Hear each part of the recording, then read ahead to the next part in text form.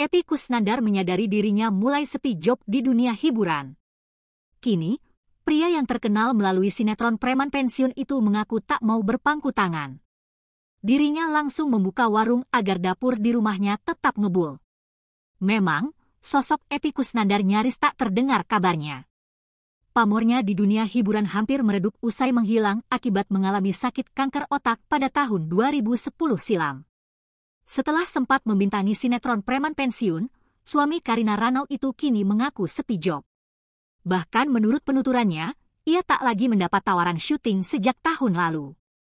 Pemain sinetron sekaligus komedian tersebut menyebutkan bahwa warungnya sudah ia rintis sejak tahun 2012. Ia pun dengan bangga mengatakan kini telah memiliki lima orang pegawai. Meski sudah punya warung nasi, Epi tetap mencoba peruntungan lainnya dengan berjualan kerupuk keliling.